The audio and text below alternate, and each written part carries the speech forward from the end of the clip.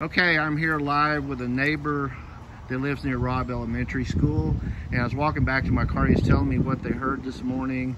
Uh, tell me, uh, you live a few a few houses down from Robb, and uh, so what happened? What did you hear? Uh, what, what so my, my, wife is the one that mentioned it. I didn't really hear it, but my wife came in and, and got me. She said, I just heard some gunshots. Um, and I saw somebody running, so she thought that it, maybe it was the person, you know, that mm -hmm. probably was involved. But um, I went and I looked at my cameras to see if I, you know, could mm-hmm. see anything, but I didn't. I didn't see him in the camera system. Mm-hmm. Um, but I did hear the gunshots get picked up on the on the security. Do you know footage. roughly what time that was? It was exactly. It was at 11:31, um, 40 seconds. Okay, 11:30. Oh wow, that's really spot on. So, okay. Um, excuse me, sorry.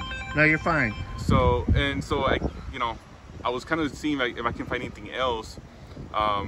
But around that time, that's when I started seeing a bunch of traffic show up. Um, you know, I, am assuming it was concerned parents. Mm-hmm. They started parking along the side of the road, and um, then eventually uh, we we saw the notification go out from the school that uh, it was on lockdown. So we figured, okay, well something's something's going on.